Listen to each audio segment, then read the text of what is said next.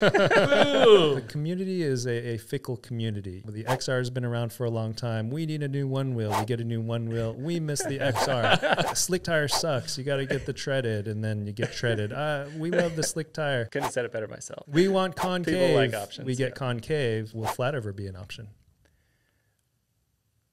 Well, I feel I feel put on the spot. I feel put on the spot. you are put on the spot. Is Just this going to be like I'm riding flat on mine right now. Oh. I'll tell you that much.